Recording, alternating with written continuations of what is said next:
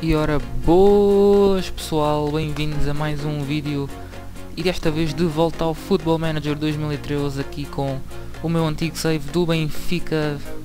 Acho que já fiz um ou dois episódios no meu canal, mas agora estou muito mais avançado porque eu tinha deixado de fazer vídeos. Mas, a propósito, temos aqui o jogo com o Futebol Clube do Porto e eu vou aproveitar para comentar o jogo de ontem em que eu estou extremamente desapontado, extremamente triste, extremamente aziado. Pois foi um jogo em que podíamos ter ganho o título mas uh, pelos vistos não devemos ganhar nada esta época, a equipa está toda partida e, e pronto, é, mais à frente vou comentar o jogo, aqui na conferência de imprensa que só tentar ter um momento de concentração. Portanto, o seu último jogo com o Futebol Clube Porto teve no lugar o Chai Dragão e acabou por 1-0, um sim, eu perdi. Pois eu tenho sempre o azar de perder com o Porto no, no FM, infelizmente, apesar de estar em primeiro, primeiro lugar com 11 pontos de vantagem. Um, mas claro que vou dizer que vamos ser favoritos, claro. Espero ganhar este jogo. Portanto, este aqui é certamente a melhor contratação que vocês podem fazer. Costuma apenas 3 milhões de euros. É um jogador espetacular. É um ponta de lança. Alberto Palotti, acho que foi ao Milan, já não joga isto há algum tempo. Sim, e não, foi por acaso foi ao Kiev. Mas aqui está 1 milhão e 700 e ele já tem 25 gols marcados em 36 jogos. Certamente um, recomendo este avançado. É mesmo muito bom. Mas bom, estávamos aqui na conferência de imprensa. Eu vou dizer que a estrela do nosso ataque é o Palotti. Portanto, aqui o jogo vai ser a meia final uh, da Taça de Portugal, acho eu. E claro que hum, vou dizer que vamos para a final.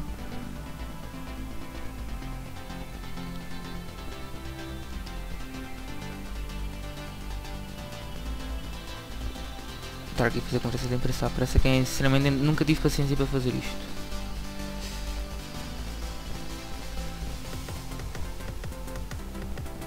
E pronto.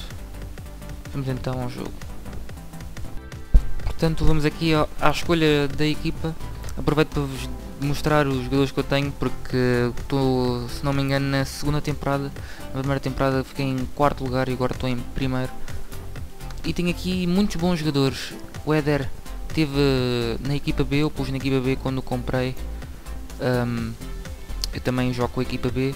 Ele fez 34 gols em 36 jogos e agora aqui no Benfica 19, em 19 jogos fez 11 gols. Ele já teve algumas lesões, tem jogado pouco porque ainda precisa de, de melhorar muito em relação ao Palotti, que é o meu titularíssimo. Depois tenho o André Archavin, que já é um bocadinho velhote, ele já está a ponderar uh, retirar-se na próxima temporada.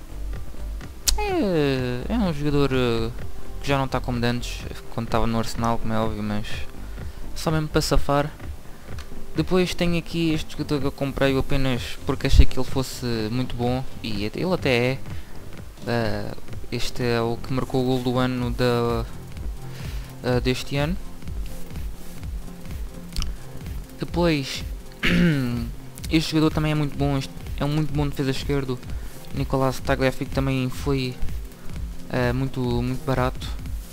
3 milhões. Depois decidi comprar este jogador ao Tottenham, ele também não é mau todo, mas um, uh, eh, não é um jogador uh, que seja muito titular na minha equipa, porque ele ainda tem muito que melhorar também. E ele também ainda não tem assim tanto espaço na equipa, comprei por 4 milhões e meio desde a temporada passada e ele até agora só marcou um gol tal como na época passada, tem jogado pouco ainda. Mas também serve para safar. Depois, este sim é um excelente jogador. Miguel Rosa.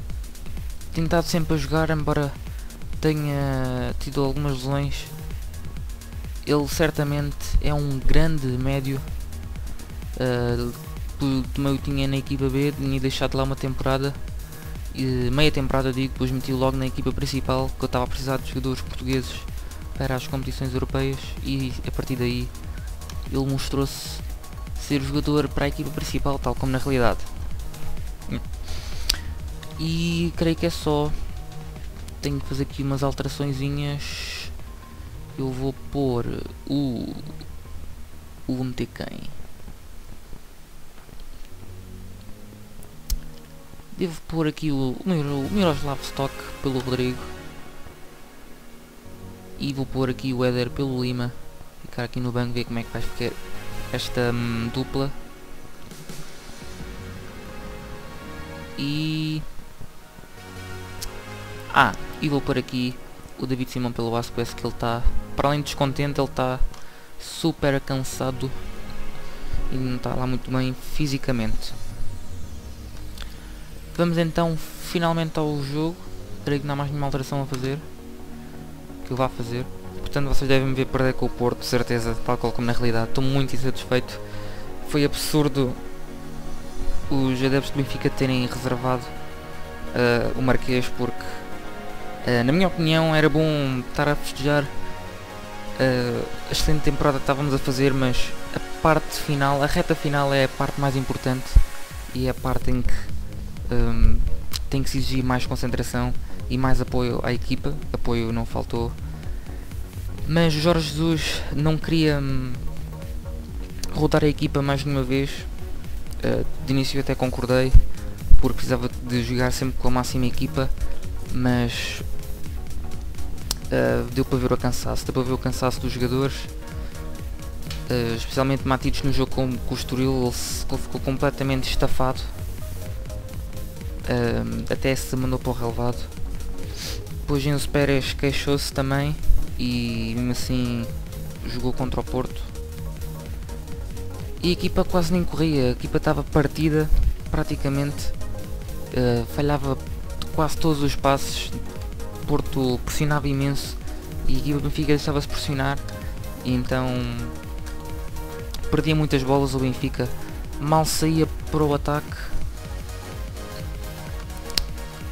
Então foi um jogo desastroso. Até marcámos primeiro. Com alguma sorte ainda conseguimos marcar.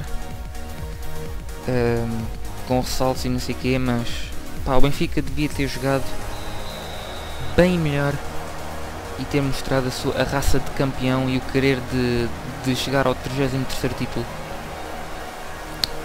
E pronto, acabamos por perder. Kelvin surpreendeu-nos a todos com aquele grande gol não tiram mérito ao Porto, jogaram-me para ganhar. Infelizmente, o Benfica agora tem que esperar por um empate pelo menos ao Porto, eu ainda acredito. Ainda pode ser possível o campeonato. E agora que o Porto faz o primeiro, 7 minutos, Gabbiadini também era para ter comprado este jogador italiano.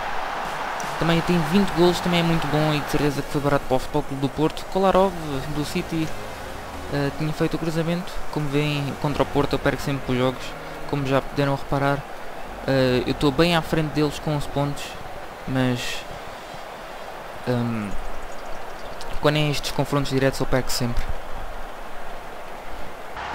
E Ramos Rodrigues faz o segundo aos 10 minutos. Ixi, até dali imortal e tudo. Mandou um pastel, Maxi Pereira nem foi à bola. Ficou ali apenas a meter à frente. Mas bom, como eu estava a dizer, um, Benfica agora só salvaria esta época caso vencesse o Chelsea uh, na quarta-feira, mas eu tenho imenso muito medo do, do Niga, do Demba e do, do Hazard e do Mata. Vai ser um jogo complicado, o Benfica está mesmo naquela expectativa de não ganhar nada esta temporada, a não ser a Taça de Portugal, que essa contra o Guimarães, o Guimarães não tem estado a jogar nada, mas bom, vamos, mas é uh, estar com aquela esperança, o Benfica pode ser campeão, porque a esperança é sempre a última a morrer. E tudo é possível. Passos Ferreira está em terceiro lugar. Portanto, tentar fazer uma excelente temporada. Oxalá que eles não. Não, não, tipo, não descansem contra o Porto, como já garantiram o UEFA. Se não tivessem garantido a UEFA Champions League, de certeza que eles comiam relva, portanto seria uma esperança para o Benfica, mas Vamos então ver. Eu estou aqui a levar 3. É que isto também me acontece é perder os jogos quando eu estou a fazer vídeos. Se eu não tivesse a, a, fazer vídeo nenhum, de certeza que ganharia o jogo. Já como foi no, no FM 2012, quando eu estava a fazer um, vídeos uh, do meu do meu gameplay desse save com o Benfica. Ai ai ai que agora ser autogol. Quando estava a fazer o gameplay, gameplay para o YouTube, os amigáveis eu perdi-os quase todos, até perdi, acho que foi 5-3 com o Guimarães, já não me recordo. Uh, depois eu desisti dos vídeos, como eu tinha pouco feedback, uh, eu na altura não tinha também muito, muita paciência para fazer. Uh, acabei por desistir e continuei eu mesmo sem gravar e eu fiz uma época fantástica, cheguei à final da Champions, perdi, foi com o Barcelona, e 4-0, incrível. Acho que foi com o Barcelona, mas ganhei o campeonato, a taça de, da Liga e a taça de Portugal. E claro, perdia com o Porto. Ganhava a todos, mas perdia com o Porto. E tal e qual aqui. Mas pronto, 4-0. Uh, que treta.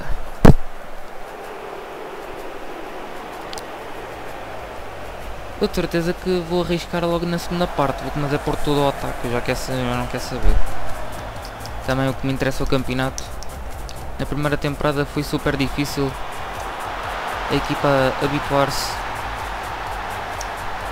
uh, ao meu estilo de jogo, pois eram muitos jogadores novos e foi a época mais difícil que eu tive no FM. Sempre na primeira época sempre ganhava tudo, mas uh, o Futebol Manager 2013 está um jogo ainda mais complexo. Epá, que é isto? Que é isto? Que é isto? 6-0 Porra, nunca, eu nunca perdi um jogo assim, mano. 31 minutos, 6-0. Não. Desculpem. Eu acabei de aziar. Vou mas é passar esta treta à frente. Peço imensa desculpa, mas eu não consigo mostrar mais que isto. Eu estou super, super aziado com esta porra. É só para verem que quando eu sou aziado sou assim. Meto logo 2, 4, 5 jogadores na frente do ataque e ainda mais um atrás. Por isso só para verem que eu estou-me a cagar para este jogo. É que já me estava a passar a azia de ontem, mas não, voltou, ainda por cima neste jogo. E só para verem que eu estou aziado, vou pôr mesmo este jogo, esta equipa, digo. Vai lá, eu aziado nem falo como deve ser. vergonha. Estamos na reta final do vídeo e é só para dizer que eu estou-me a lixar completamente para o jogo com o Porto. Eu nem vos vou mostrar quanto é que ficou o jogo porque eu estou tão aziado que eu já não quero saber mais daquele jogo e avancei logo. Avancei logo. Portanto, podem ver aqui a classificação, podem ver eu que estou a esmagar o Porto, esmagar o Porto na classificação. E o Sporting, como sempre, abaixo do terceiro lugar. O Sporting é sempre assim, o Sporting é uma merda, o Sporting é assim. O Sporting é assim. Por isso, ponham like e subscrevam-se e ponham favorito se gostaram do vídeo e de mim aziado e até ao próximo vídeo o Rio Ave. Por isso até lá caros benfiquistas, sportingistas, esportistas ou seja, clube tiverem a ver o meu, meu, meu ai porra, o meu vídeo até lá não se esqueçam de subscrever e meter gosto. Até ao próximo vídeo. Peace!